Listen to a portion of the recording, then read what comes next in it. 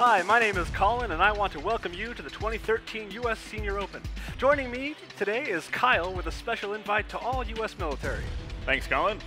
All U.S. military personnel and their families, both active and retired, will enjoy free admission to the championship.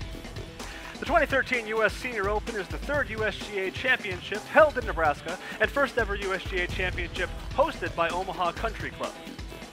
The defending Senior Open champion, Roger Chapman, the first Englishman to win a USGA championship in 42 years, has withdrawn due to a shoulder injury. Reporting live from the Chevron STEM Zone on the set of Studio C, I'm Colin.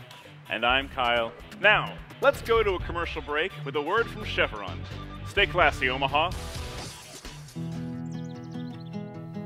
My dad sees a perfect drive down the middle. I see kinetics and energy transfer from club to ball Oops. My dad sees a lucky sweater helping him save par.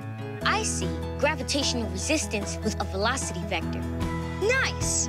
My dad is proud I'm excited by STEM. Science, technology, engineering, and mathematics. Chevron is proud to partner with the USGA and NBC Learn to develop STEM programs that inspire our kids.